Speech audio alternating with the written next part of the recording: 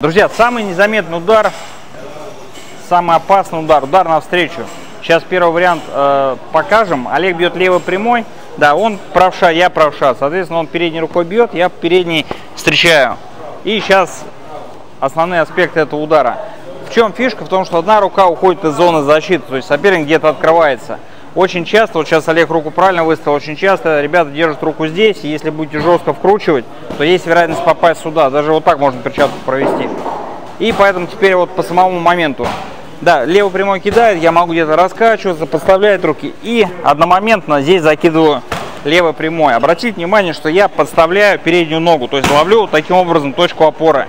Потому что если у меня нет опоры, я либо проваливаюсь вперед под соперника и дальше он мне в ответ кидает да, либо я э, жестко не смогу просто ударить. Поэтому обязательно я стою, выцеливаю соперника и в какой-то момент выставляю левую ногу, которая мне потом позволит толкнуться и уйти назад от встречных ударов соперника или последующих.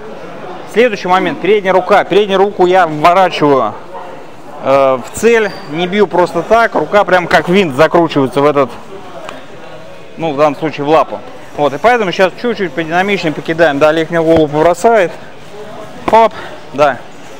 Угу. Хоп. Хоп.